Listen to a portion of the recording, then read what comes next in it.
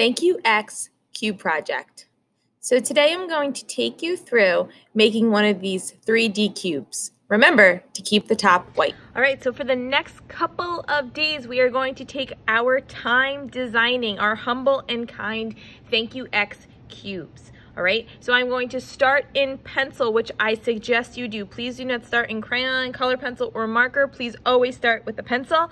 And you are going to begin drawing your image. One on this side, one on the other side. It's really up to you how you want to represent humble and kind. So please watch this time lapse to see how mine comes out. Remember to leave this section white and you may begin.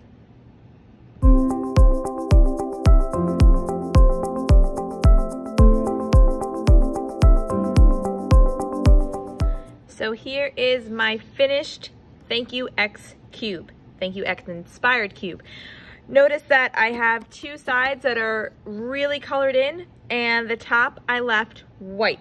So at the end, you would just cut this out, the whole thing, so it's a cube, and then you will bring it back in or take a picture of it on the Padlet. But if you would like for it to be hung up somewhere in the school as a nice display, please bring it in to your homeroom teachers and they will hold on to them until I come and collect them. All right.